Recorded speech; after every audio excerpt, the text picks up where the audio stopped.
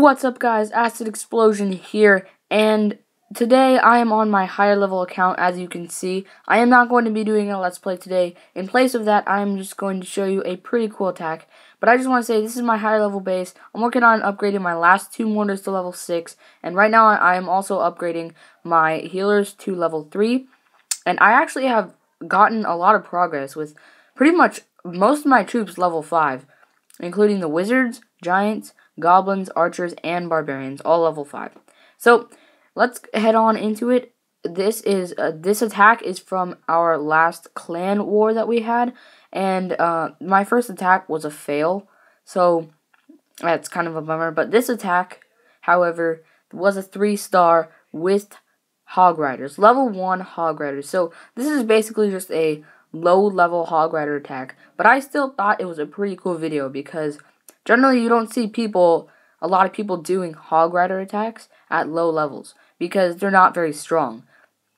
So, I mean, I've heard that uh, some people have said wait till you have level 4 hogs because anything below level 4 is just too weak.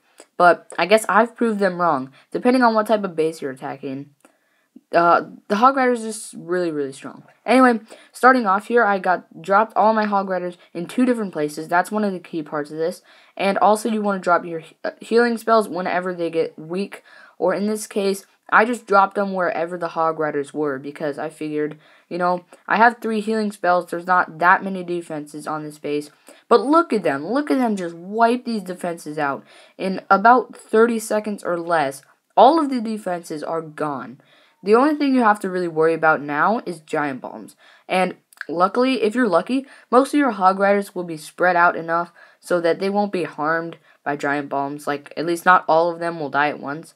Because I just realized giant bombs actually do 1.5 times damage more to hog riders. So they kind of nerfed it a little bit. That's probably the reason, like, not a lot of people are doing it. As you can see, there was a giant bomb that just went off over there, taking off about half my hogs, but I had some others spread out around the base. Also, my king was still alive. Um, he wasn't doing much, though, just smacking the wall. And there's a giant bomb that also went off right down there, killing more of my hog riders. But, as you can see, I still have enough left, 99%, as they jump over here to get that last gold mine.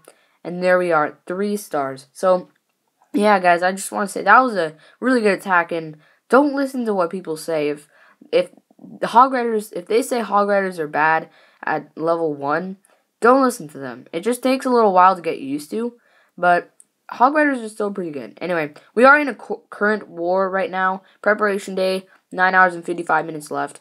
Uh, yeah.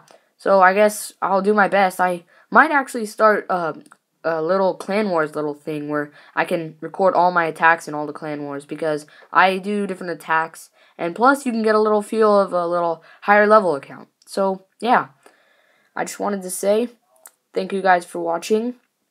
And right now, I'm just checking out the war wins and war stuff. Yeah, we've won the last four. We used to lose a bunch, and that's before we got a ton of new members that joined. So you could be one of those new members to join right now. And uh, yeah, just gotta say thank you guys for watching. Join the clan Invincible Hawks.